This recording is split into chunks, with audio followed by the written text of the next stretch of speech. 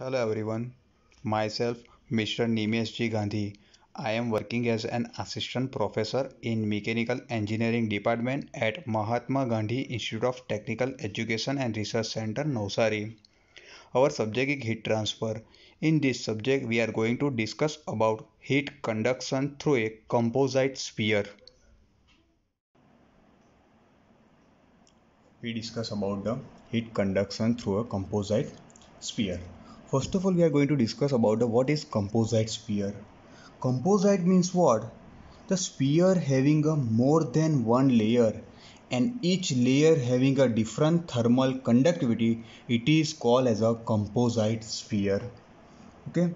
Now we are just consider a one cross section of the composite sphere. We are just consider the cross section of the composite sphere in composite sphere we have just considered two layer is there. You can see here layer a and layer b is there. We have just considered one sphere is there. That sphere is covered with the layer a and covered with the layer b.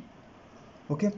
Now you can see here first inside we have just consider hot fluid is there. Inside the sphere hot fluid is there. And outside the layer b is cold fluid is there okay? So first of all we just consider that okay, that inside hot fluid having a temperature THF THF means temperature of hot fluid or inside temperature of the fluid.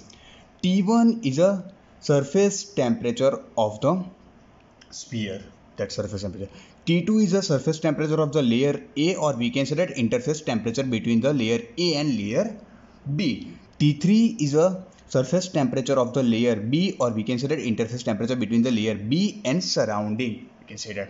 And TCF means temperature of the cold fluid okay? It will be and cold fluid we are just considered as a air okay? So we the temperature or outside temperature of the fluid or we the temperature of the cold fluid. Then after we just considered that Ka is a thermal conductivity of the layer A and Kb is a thermal conductivity of the layer B. Then you can see here that R1 is there. R1 means the radius of the sphere. R1 is the radius of the sphere. R2 R2 is the radius of the layer A. R3 is the radius of the layer B okay?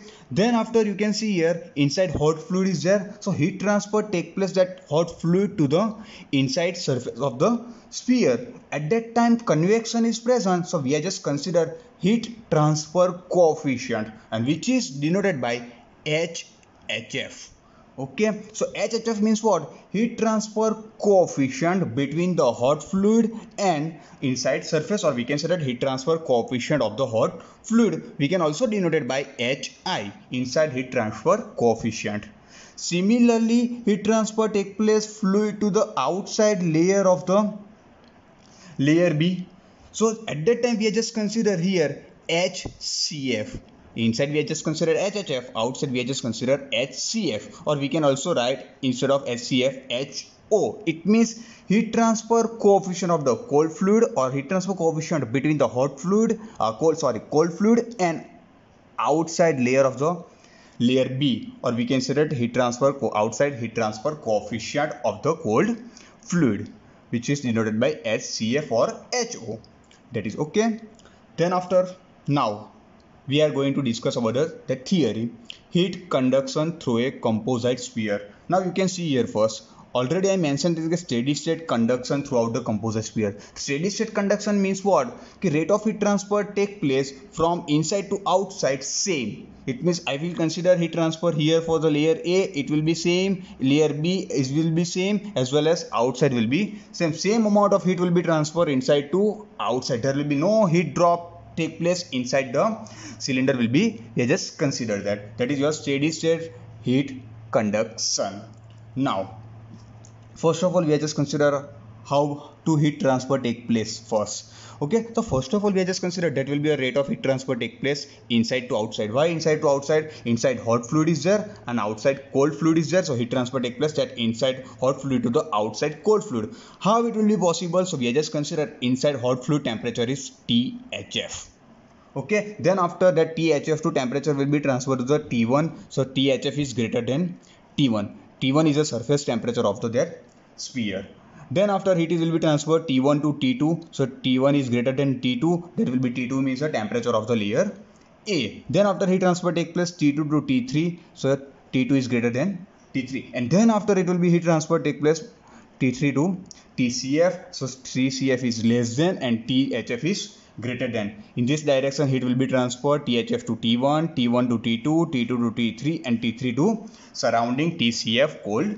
fluid so we just derived that equation for the heat conduction through the composite sphere.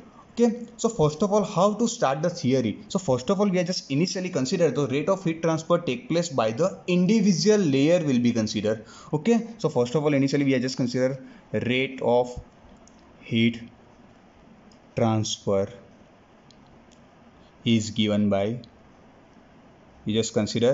Individually will be first first of all initially consider. So individually it is for transfer THF to T1 THF to T1 THF means hot fluid temperature and T1 is the surface temperature of the sphere we just considered. Okay? So heat transfer take place take place at THF to T1 it means fluid to that solid heat transfer take place at the time convection is present and heat transfer take place by the convection. So at the time we are just considered Newton's law of cooling. And Newton's law of cooling is what? Q is equal to H A delta T. Okay? So Q as it is H means which H will be considered? So inside hot fluid is there. So hot fluid H will be considered. So H HF into area. Already i told you area of the sphere in previous hollow sphere derivation ke area of the sphere is 4 pi r square normally consider. But inside surface radius is how much? R1 is there. Okay? So our area is what? 4 pi r1 square.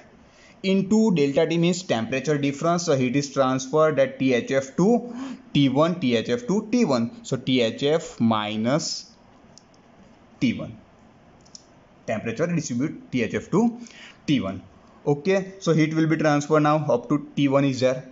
Now heat is transferred at T1 to T2 okay individually we are just considered now T1 to T2 heat transfer take place. It means that solid to solid heat transfer take place and solid to solid it means your conduction will be considered. Now already we derived the conduction equation for the hollow sphere okay so what will be our equation? Okay q is equal to t1 minus t2 temperature difference T1 minus T2 divided by resistance of the sphere will be considered. So resistance between that t1 to t2 will be considered. So that will be resistance is already we derived that equation for the hollow sphere for r2 minus r1 divided by 4 pi k. K but instead of k we are just consider that layer a having a thermal conductivity ka so 4 pi ka into r1 r2 Similarly, we can write that equation. We are just taking that 4 pi Ka R1 R2 upper side. So it will be 4 pi Ka R1 R2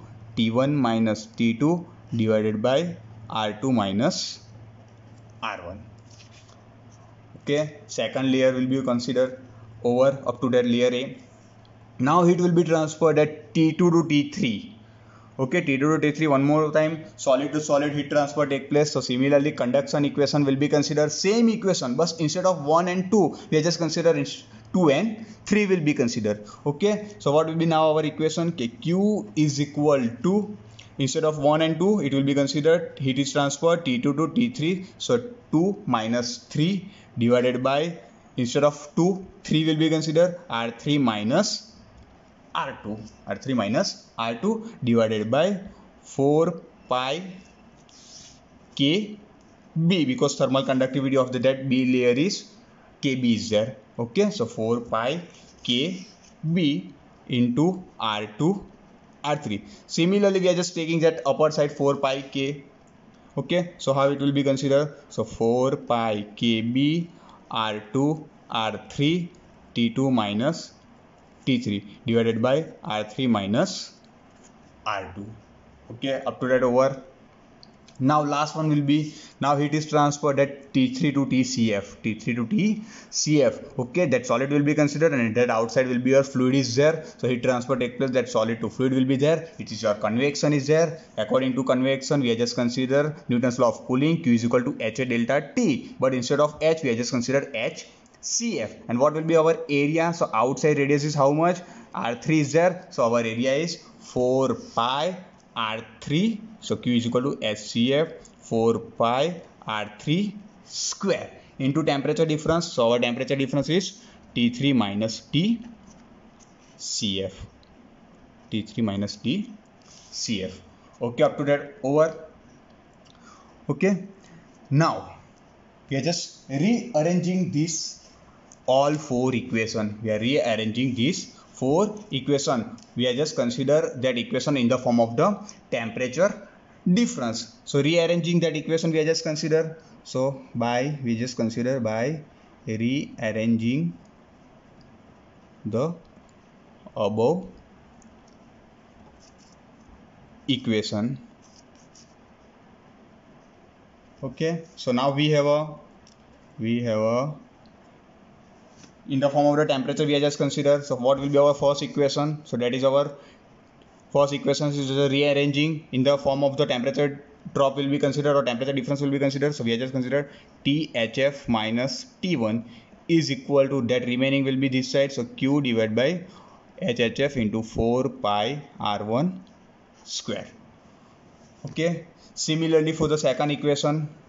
Okay so we, we are just consider that equation will be considered q is equal to that will be considered okay? So in the form of the temperature will be considered t1 minus t2 is equal to that side will be considered. So q as it is r2 minus r1 divided by 4 pi ka r1 r2 okay? Similarly for the third equation will be considered. For that third equation we are just consider t2 minus T3 so T2 minus T3 is equal to that equation will be considered and Q will be considered. Q R3 minus R2 divided by 4 pi KB R2 R3 okay and then last one will be that will be considered in the temperature difference we are just consider rearranging. T3 minus TCF is equal to Q divided by HCF into 4 pi r3 square. Okay? Now we are just giving the numbering here. That is equation number 1 2 3 and 4 so we have a 4 equation is there. Okay? Now addition of all four we are just considered because we require the composite sphere. That will be our individual equation is there but we require the composite sphere. So at that time addition of the we are just add 1 2 3 and 4 okay so now above equation above equation. Now addition will be considered so you can see here. First THF minus T1 plus T1 minus T2 will be considered that minus T1 is there plus T1 is there that will be cancelled out. Minus T2 plus T2 cancel out minus T3 plus T3 will be cancelled out so remaining will be THF minus TCF okay up to that is equal to okay? Now you can see here addition of that will be considered okay? So first of all we are just consider q4 pi q4 pi q4 pi and q4 pi take common. So we are just taking q by 4 pi will be common okay? So now we are just taking the q4 pi common. So q by 4 pi take common okay q by 4 pi will be common. So what will be our inside the bracket now? Okay so first we are just taking q common. Okay 4 pi will be common. So remaining will be 1 upon h hf into r1 square. 1 upon hhf into r1 square. I just consider below side. Thf minus tcf is equal to q by 4 pi common. Okay so inside the bracket 1 upon h hf into r1 square. First over. Second thing will be considered plus. Here q4 pi by common. So remaining will be r2 minus r1 divided by ka r1 r2 okay?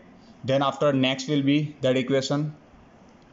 R3 minus r2 divided by kb r2 r3 okay? And then last one will be plus 1 upon HCF into R3 square. Okay, that is our equation for the in the form of the temperature difference. Okay, but we require heat conduction through a composite sphere. It means we require rate of heat transfer equation q.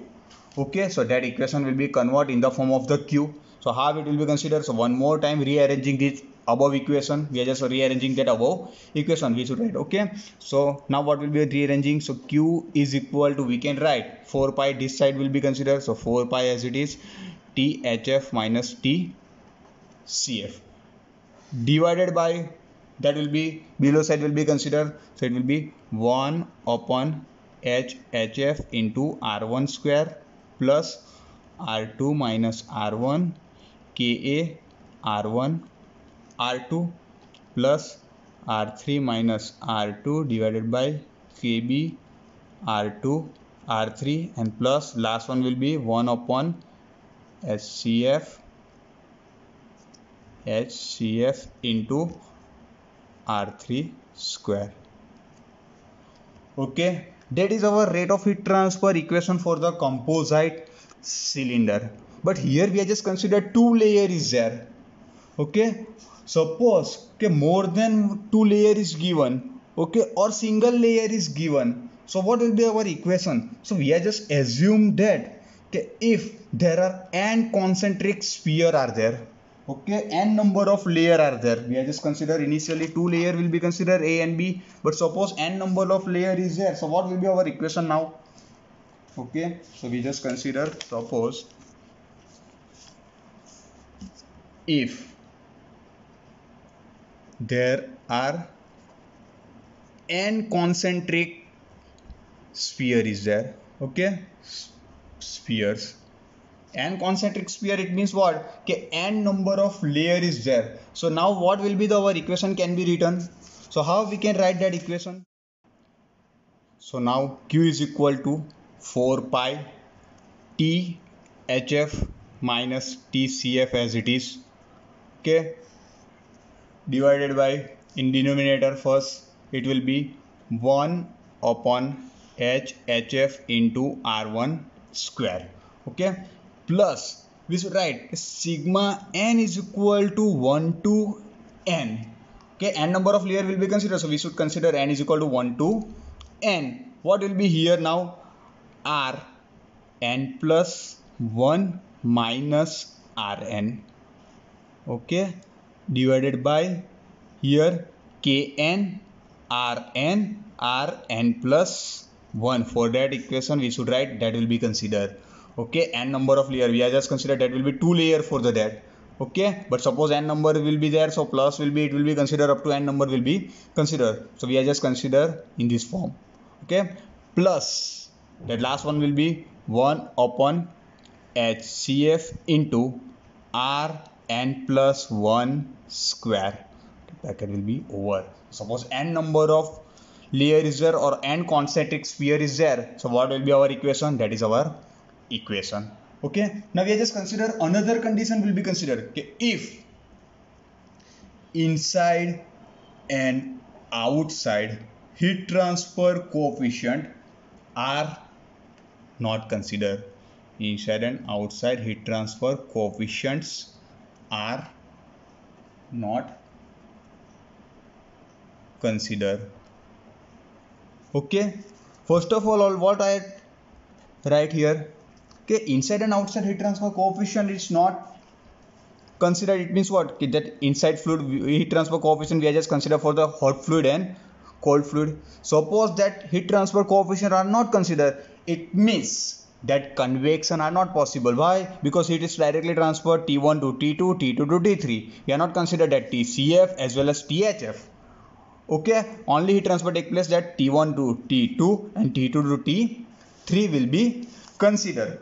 Okay? So what will be our equation? So we can be written that equation. How we should write here? So q is equal to 4 pi as it is now THF and TCF is not present because they are considered the inside and outside hot heat transfer coefficient are not considered. Okay, it means fluid temperature is not present. So directly considered it will be T1 minus Tn plus 1.